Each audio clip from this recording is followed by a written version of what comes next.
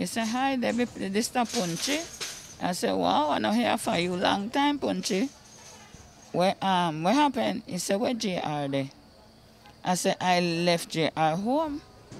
I said, why? What happened? What happened? He said, JR get killed, JR killed. I, um, La Vista Del Mar, he said, uh, um, I'm going to um, identify the body. So I said, wow. I said, I was shocked. I said, I will come down right now. I'm going to catch the bus. And I'm coming down. So I said, as soon as he left from the morgue, he going to call me and tell me what happened. You know, and he called me back and tell me it's him.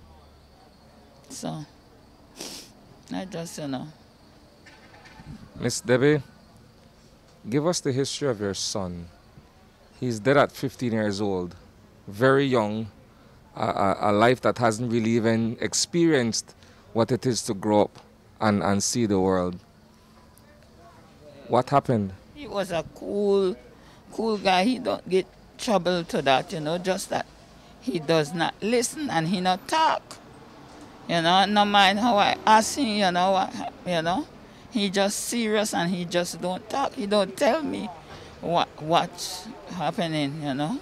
No matter I tell him, I want you to go back to school. He don't want to go back to school. He say, he don't want to go to school because they are going to kill him, they are going for him there. So I asked him, why? He said, he just stay at talk. He tired of stuff he part of that jail and he just give up. He don't have nobody, only me. I know you've tried with him. Very recently, you made an attempt to get him into a program where he could have gotten into something meaningful. Talk to us about that. Well, I wanted to um, get him in that, that program, but the, the situation that happening here, I said I want to get him out of Belize. I want to get him to the States, but he will not get a visa if if he not go to school.